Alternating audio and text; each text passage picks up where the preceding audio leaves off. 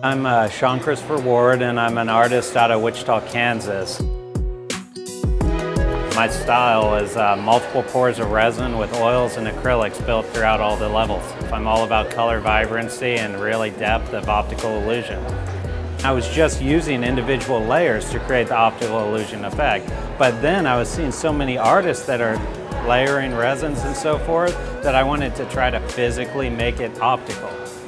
I try to make it to where it's an actual social interaction and an experimentation of how colors and designs affect the viewers. For a lot of my art, it might be a little overwhelming to some. Others, it brings a talking point where it connects two people together.